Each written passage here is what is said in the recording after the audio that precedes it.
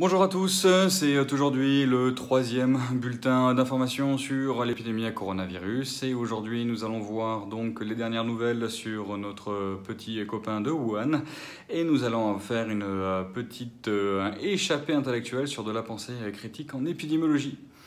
Donc euh, bonjour à tous, je suis le docteur Vincent, docteur en médecine générale, docteur en épidémiologie, fondateur de Nessan Region et coach médical. Et aujourd'hui, euh, deux semaines après la seconde vidéo, je vais en faire une troisième donc, où euh, je vais partager avec vous les dernières nouvelles sur le virus, le coronavirus qui sévit depuis quelques semaines maintenant en Chine et dans le sud asiatique et un petit peu partout sur le reste de la planète. Et je le dis tout de suite, hein, qui génère beaucoup plus de mal par la panique et la peur qu'il crée que par les effets réels qu'il a sur la santé publique. Donc première chose à savoir, c'est que euh, notre petit copain a un nom officiel maintenant, c'est Covid-19, un co coronavirus, vide, euh, virus viridé, 19, l'année 2019, euh, l'année de sa découverte. Donc ça nous avance vachement. Maintenant, il a un nouveau nom beaucoup plus romantique et euh, intéressant que le précédent. Non, en fait, pas du tout. Ça n'a pas beaucoup euh, d'intérêt. Seconde chose à voir, c'est que depuis euh, quelques jours, il semble que l'épidémie, le niveau de transmission soit en train de se calmer. Il est encore un tout petit peu tôt pour dire que nous avons atteint le pic parce qu'il y a encore un petit peu de croissance d'un jour sur l'autre. Mais globalement, on voit que le nombre de cas confirmés en laboratoire, on va revenir dessus sur cette notion, le nombre de cas euh, semble se stabiliser autour de 50 000 avec euh, probablement un pic qui se fera autour de 55, 60, 65 000 cas. ça reste évidemment à confirmer et on verra si l'épidémie ne repart pas au fur et à mesure que les Chinois reviennent au travail. Car effectivement, la Chine est relativement paralysée depuis quelques semaines, ce qui a pour effet de ralentir la transmission. Et euh, globalement, on voit que le nombre de morts euh, continue de monter et avec une mortalité qui est toujours entre les 2 à 3 On est autour de 1500 morts pour à peu près 50 000 à 60 000 cas. Alors effectivement, 50 000 à 60 000 cas, parce que vous avez euh, sans doute vu que le gouvernement chinois a déclaré à peu près 12 000 cas supplémentaires il y a 4 jours. Ces cas ne sont pas vraiment des cas cachés, ça répond en fait plutôt à des critiques autour des chiffres de euh, l'épidémie, car effectivement les chiffres qui sont produits par l'OMS sont des cas confirmés en laboratoire, c'est-à-dire que pour chacun des cas qui sont comptés, il y a eu une prise de sang et une euh, découverte du virus dans le euh, système circulatoire du patient par la mise en évidence de son ARN, c'est-à-dire de son information génétique. il apparaît que peut-être dans certains cas, il y a eu des limitations en termes d'accès au laboratoire, en, nombre de kits ARN et que donc un certain nombre de euh, cas supplémentaires aient été euh, diagnostiqués, mais simplement de façon clinique. C'est-à-dire que les patients avaient suffisamment d'éléments cliniques, type pneumonie, euh, pour très fortement suspecter une infection à coronavirus, et ces chiffres-là ont été rajoutés ils ont été rajoutés d'un coup. C'est-à-dire que du jour sur l'autre, en fait, d'un jour sur l'autre, euh, on a rajouté 12 euh, 000 cas.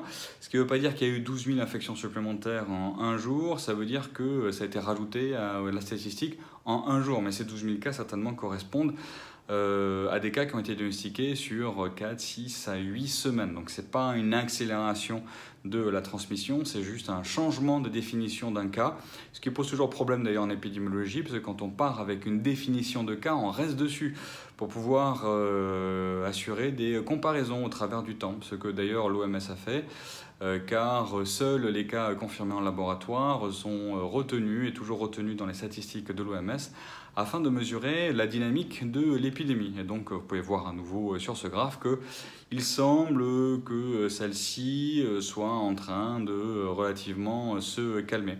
Il en est de même à l'international. Pour le moment, on a en gros 500 cas, dont une bonne moitié qui sont sur ce fameux bateau de la croisière Samuse, qui est euh, au large du Japon, mis, euh, mis, en quarantaine, enfin au large et taqué, au Japon, mis en quarantaine avec euh, des contaminations qui montent, hein, parce que on a fabriqué un joli cluster, c'est-à-dire un, espèce de petit bouillon de culture viral et avoir une pensée sincère pour l'ensemble des personnes qui sont sur ce paquebot et qui vivent depuis quelques semaines un véritable enfer, car ils sont ni plus ni moins sur une prison flottante maintenant avec un virus et la peur qui certainement doit les gagner.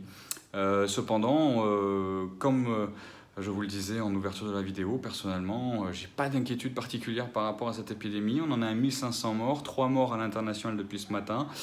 Euh, si on regarde d'ailleurs la mortalité sur les cas à l'international, elle est extrêmement faible, on est dans les 0,2-0,3%, c'est extrêmement faible. Et cela d'ailleurs va dans le sens de la théorie de l'iceberg, à savoir que la plupart des cas sont des cas qui sont infracliniques, en dessous euh, d'un seuil d'expression clinique important. Euh, on est sur du gros rhume. Et d'ailleurs, comment ça se fait que l'on trouve ces chiffres-là à l'international, que la mortalité soit donc plus faible à l'international? C'est parce qu'à l'international, en fait, on teste les gens de façon systématique quand on sait qu'ils ont été en contact avec des personnes infectées. Et donc, on va mettre en évidence des infections chez des gens qui euh, n'ont pas exprimé cliniquement la pathologie. Donc, au total, on se retrouve avec euh, plein de cas euh, rapportés, mais qui n'ont quasiment pas déclenché la, la, maladie. Et donc, de fait, le taux de mortalité s'en retrouve être extrêmement affaibli. On pourrait imaginer que la mortalité réelle du virus est beaucoup plus proche de ces 0,2-0,3% que des 2, 2% et demi que l'on constate en moyenne sur les cas chinois. Tout simplement parce que en fait, euh, c'est la, base du calcul qui est complètement différente. Hein. En Chine, on ne compte a priori que des gens qui ont euh, fortement déclaré euh, la pathologie. Et donc, on a un énorme biais de sélection en fait quand on prend en charge ces personnes-là. Donc euh, cela m'amène sur la euh, deuxième partie de la vidéo et ce, de quoi je voudrais euh, parler avec vous aujourd'hui. Alors discuter pas dans la vidéo mais sur les commentaires on pourra, on pourra le faire.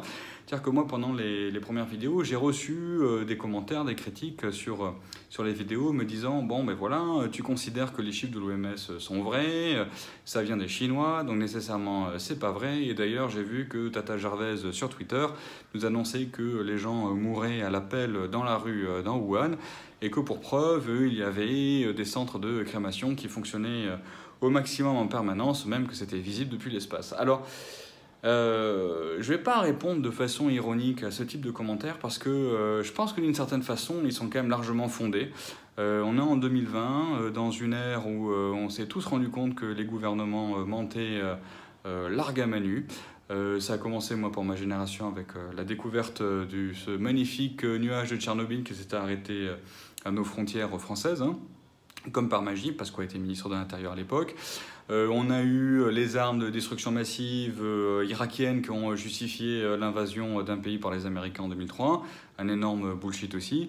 Et récemment, nous avons eu la mort de ce médecin chinois qui avait été lanceur d'alerte euh, dès la fin euh, du mois de décembre 2019 et qui avait été mis au silence par les autorités chinoises.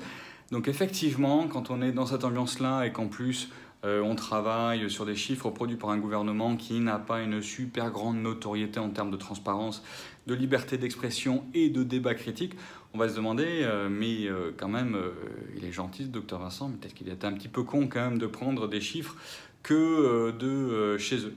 Alors euh, donc je ne vais pas réfuter euh, le point ou euh, la, remarque simplement bah, en disant voilà c'est de la théorie de la conspiration. Je vois bien qu'il y a quand même des bonnes raisons de se méfier et je pense que c'est toujours bon d'avoir une pensée critique par rapport à des chiffres qui sont donnés par des gouvernements. Le premier point que je voudrais faire ici, c'est que certes il est bon d'être critique par rapport à des chiffres du gouvernement, mais pourquoi ne pas être critique à ce moment-là par rapport à des informations donc données par euh, Tata Gervais, euh, Twitter euh, anonyme dont on ne sait absolument rien, qui peut balancer toute forme d'information et on sait qu'il y a beaucoup de trolls sur, sur le web et qu'il y a aussi beaucoup de manipulations gouvernementales sur le web. Donc pourquoi est-ce qu'une source serait-elle meilleure systématiquement que l'autre? Ça, c'est la première question que je voudrais poser. Donc ça, c'est un petit peu, on va dire, une réponse rabbinique. Euh, répondre à une question par une autre question. La seconde chose que je voudrais partager avec vous, en fait, est une méthode, une méthode critique d'analyse de, données que l'on appelle triangulation en épidémiologie. Alors la triangulation, ça n'a euh, strictement euh, rien à voir hein, avec les Illuminati, là on est sur un truc vraiment transparent, mais ça consiste à essayer de produire de l'information et à s'approcher de la vérité quand on a beaucoup de trous en fait dans euh, dans les analyses, dans les informations euh, qui sont données, et que l'on accepte le fait qu'on va s'approcher au maximum de la vérité euh, sans y parvenir en complètement, mais suffisamment pour essayer de faire sens d'une situation. Donc qu'est-ce que c'est que trianguler C'est donc accepter le fait que la vérité elle-même, la grande vérité, ne sera jamais connue, mais que en fait, en la bordant en haut, à droite, à gauche, par d'autres sources d'informations, on va pouvoir se faire une idée de l'endroit où elle se situe, cette vérité-là. Ça se fait beaucoup en épidémiologie d'intervention, en santé publique, quand on intervient sur des terrains sur lesquels il n'y a quasiment pas d'informations. Donc comment fait-on? En fait, on va utiliser plein de sources d'informations. Ça, c'est la base. Première source d'information, dans le cas présent, on va quand même utiliser les chiffres de l'OMS, parce qu'a priori, ce sont les chiffres les mieux construits, les mieux suivis et que d'une façon générale, les gens qui bossent à l'OMS, euh, même s'ils ils ne sont pas exempts de critiques, sont des gens qui sont sérieux et honnêtes. Et ils reçoivent euh, les chiffres de la Chine. Euh, les traitent, les consolident, les analysent, et euh, ils sont quand même en responsabilité. C'est-à-dire que si à un moment il y a quelque chose qui part en sucette, ce seront quand même eux qui seront euh, responsables d'avoir trop ou pas assez réagi. Seconde chose que l'on peut faire, c'est utiliser de la donnée locale. De la donnée locale qui va être collectée de façon systématique. Là, encore une fois, le Twitter de Tata Gervais n'est pas de la donnée locale, c'est une donnée euh, qui n'a quasiment aucune forme de valeur parce qu'on ne sait pas nécessairement d'où elle vient, on ne sait pas nécessairement ce qu'elle veut. Mais ça peut être donc de l'étude de terrain, de l'observation, et euh, on peut même la prendre à l'envers. Donc imaginez que si effectivement il y avait euh, d'immenses fils devant les centres de crémation en Chine parce qu'il y avait en réalité plusieurs milliers de morts par jour, vous pouvez bien imaginer qu'il y aurait de la photo qui serait sortie, il y aurait de la vidéo qui serait sortie en masse, et que cela aurait déjà fait les titres généraux euh, du, euh, de la presse et surtout de la presse occidentale. Euh, troisième source, ça va être des sources extérieures à votre situation. Ça peut être des instituts de santé publique, dans le cas précis d'épidémiologie, qui, on le sait, hein, depuis plusieurs semaines, nous disent que globalement, quand on étudie les modèles épidémiologiques, on a en droit de penser qu'il y a au moins plusieurs centaines de milliers de cas en fait réels sur sans doute la Chine, l'ensemble de la région et la, la planète. Et euh, ça, en fait, dans notre cas, qu'est-ce qu'on va faire? Bon, On va utiliser euh, les données euh, internationales, le nombre de contaminations qui ont été observées pour le moment au niveau international, parce que ces chiffres-là ne dépendent pas du gouvernement chinois. Et que ce que l'on constate, c'est que l'on a quelques centaines de cas, une mortalité qui est extrêmement faible. et donc, en aucun cas, quelque chose qui a flambé et qui, pour le moment, serait un véritable danger pour l'humanité. Donc si l'on prend dans le cas euh, précis ce que l'on a, eh on va se dire que globalement on a entre 50 et 60 000 cas déclarés en Chine. On a euh, une mortalité euh, dans ce cas-là qui est autour de 2 à 2,5%. De l'autre côté, on a bah, une absence de témoignages de façon systématique, concordant sur une mortalité qui serait a priori bien supérieure à ce que le gouvernement chinois nous cache. on n'a pas cette information-là. Euh, et ce que l'on a même, c'est qu'à l'international, on a une mortalité qui est extrêmement faible et une contamination qui est pour le moment est euh, relativement bien euh, contenue. Même si on a certainement des gros trous noirs hein, dans la couverture, on ne sait pas trop ce qui se passe en Amérique du Sud, on ne sait pas du tout ce qui se passe en Afrique noire. Ce sont des, des, pays, surtout en Afrique, où on a des systèmes de soins qui sont très fragiles, qui ont peu de capacité d'identification des cas, et très certainement, il y a déjà là-bas de nombreux cas. Euh, qui n'ont pas été détectés. Mais finalement, euh, à titre personnel, au jour d'aujourd'hui, j'aurais envie de dire, euh, on s'en fout. Hein, c'est pas c'est pas très très important parce que la réalité objective, c'est que l'on a très très peu de mortalité. on a un foin gigantesque qui est fait autour de, de l'épidémie. Je vois tous les jours des titres dans la presse française, internationale, plus effrayants les uns que les autres. dès qu'il y a une suspicion de cas quelque part, ça va être couvert et ça va être mis en, en première page euh, et en tête, euh, en tête de page web des, euh, des rédactions. Mais objectivement, pour le moment, il n'y a vraiment pas de quoi fouetter un chat. C'est pas agréable. C'est pas agréable d'avoir une épidémie. C'est pas agréable d'avoir quelque chose qui est un petit peu inconnu, comme cela, qui vient d'arriver. Euh, vous voyez, je vis à Hanoï, c'est-à-dire à assez grande proximité de la zone d'épidémie de base. On a même un village à une quarantaine de kilomètres euh, d'ici euh, qui a été mis sous quarantaine parce que des, ouvriers vietnamiens euh, avaient travaillé à Wuhan et en revenant pour les fêtes de fin d'année lunaire ont rapporté avec eux le virus. Il n'y a pas de mort, hein, il y a juste des cas qui ont été déclarés. Bon, le gouvernement vietnamien a décidé de mettre le village en quarantaine. bon, ils sont bien obligés de réagir hein, par rapport à quelque chose qui fait un petit peu peur à tout le monde, mais dans les faits objectifs, pour le moment, pas d'inquiétude. Et moi, je dirais même, en dépassant un peu mon rôle pour la peine de, de médecin, que ce qui semble être le plus inquiétant, c'est plutôt l'impact économique et social que cette épidémie a en ce jour. Hein. Alors, je tiens à préciser, c'est aujourd'hui, hein, nous sommes mi-février 2020. Je ne sais pas ce qui va se passer dans 4 semaines, dans 6 semaines, mais tout ce que je dis, c'est qu'aujourd'hui, euh, la peur, la panique autour de ce virus font beaucoup, beaucoup plus de mal que le virus lui-même. Donc voilà, c'est ce que je voulais euh, partager avec vous aujourd'hui. Euh, j'espère pouvoir reprendre rapidement la production de vidéos un peu plus centrée sur mes centres d'intérêt, à savoir la médecine préventive, anti-âge sans médicaments et la science qui va avec. mais voilà, j'espère que au moins ma voix et les quelques personnes euh, qui euh, écouteront et verront euh, cette vidéo pourront apporter un tout petit peu de calme dans quelque chose qui m'apparaît être un petit peu délirant par rapport à la situation réelle qui nous est donnée d'observer aujourd'hui.